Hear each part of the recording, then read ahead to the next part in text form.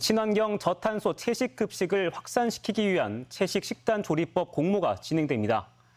전라도 교육청은 오늘부터 다음 달 30일까지 나와 지구의 건강을 살리는 학교 급식 레시피를 주제로 학생들의 영양 불균형을 해소하고 저탄소 환경 급식을 위한 공모전을 진행합니다.